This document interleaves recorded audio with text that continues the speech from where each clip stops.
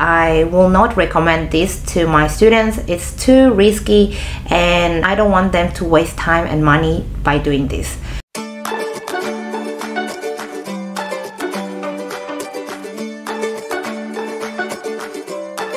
Hello, hello everyone. This is Moni from PTE Magic. Welcome back to my channel. The video today will be the one that a lot of students have requested me to do and we are going to talk about one line strategy again. I'm actually in Vietnam at the moment. I have never taken the PTE exam in Vietnam before. And if you guys have been following me and watched my previous videos, you uh, should already know that I generally get 90 all bands when I take the test in Australia. Um, but in order for me to do new experiments, I needed to make sure that I could get 90 in Vietnam as well. Uh, so yeah, on the 31st of August, I took my exam at EMG Center in Hanoi and this is the score that I got.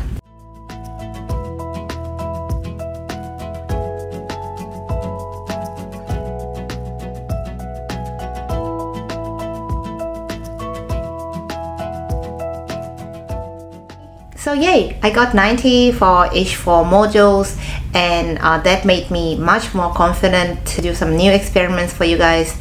And um, so after a week on the 7th of September, I booked another exam. So in this test attempt, I wanted to test two things. The first thing is of course one line strategy. But then because I paid for the test anyways, uh, I wanted to test uh, another thing which is adding more words in Write from dictation. So normally I I would add two to three words, but this time I was adding more words, so probably five or six words, uh, and see if I lose points by doing that. So let's check out my scores.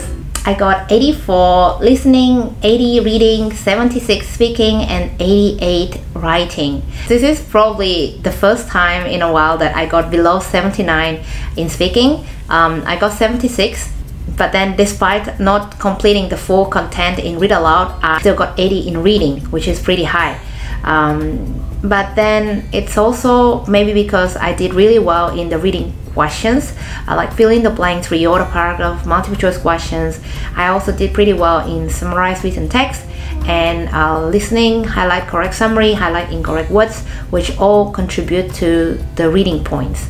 In terms of Write from dictation uh, by adding more words than I normally do uh, I lost few points here just be extra cautious when adding so many words. So with Write from dictation, I recommend if you want to add extra words alternatives if you are not sure if the word should be singular or plural or if you are not sure about preposition or articles try to add only two to three words for every sentence.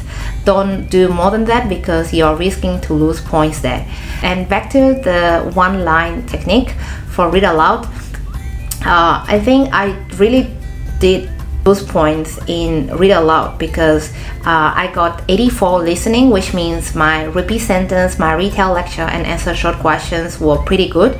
Uh, so probably lost points in read aloud. And my reading was 80 which is very close to 79 so what I did was probably the same thing in my last video uh, in Pearson's mock test where I got 90 speaking I was reading random sentences so in some read aloud passage I was reading the first sentence. In some, I was reading the second, and in some passages, I was reading the third, uh, the last sentence. So yeah, I was doing the same thing, but somehow I didn't get 90 and I got 76. And that made me feel that I will not recommend this to my students. It's too risky and um, I don't want them to waste time and money by doing this.